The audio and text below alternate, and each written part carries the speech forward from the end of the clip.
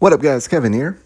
Time to play my favorite game, your favorite game, Pee Wee Herman's favorite game, the Metacritic score game.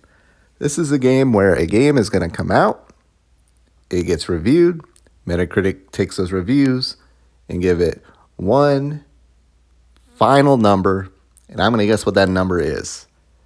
And today we're doing it. We're doing Baldur's Gate. Game comes out in a couple days. So part of me, if the review scores are already out, I don't know what they are. So um, let's guess. Let's guess Baldur's Gate 3. Uh, first off, fuck you, Larian Studios. Seriously. They created this drama around the Series S sucking, and now I'm seeing like, no, no, no, it's not the Series S. It's like, well, what is it? What is it?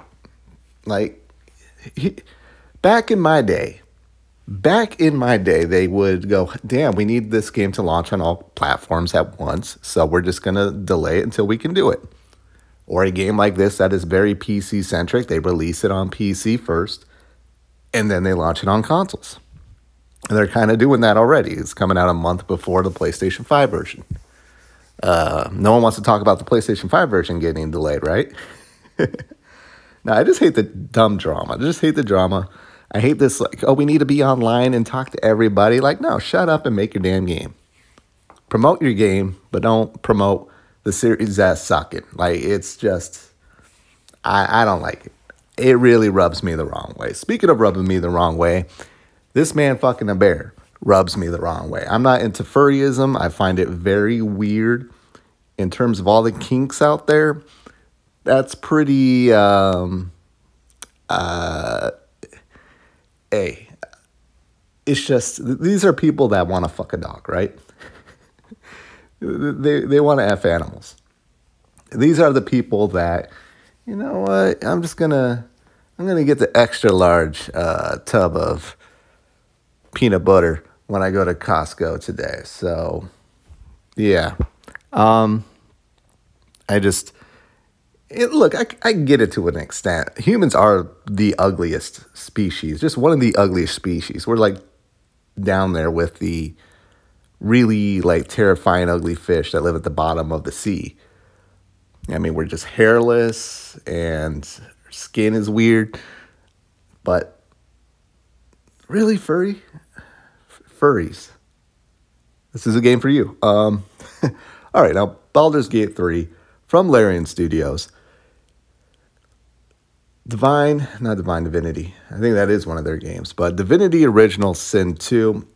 People love the game so much. So much.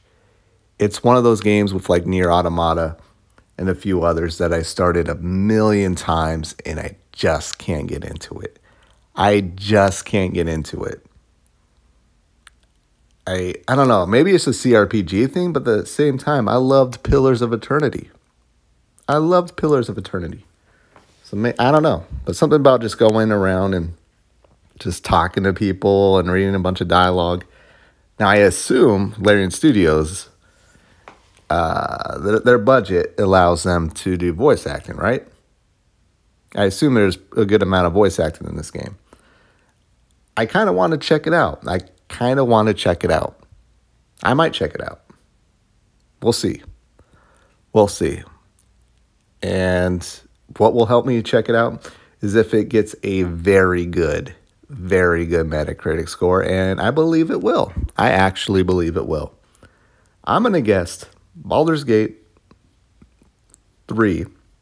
And I think it's a game that people reviewing this game are into these type of games, which I think that's how it should be. I think you should only review a game if you're into these type of games.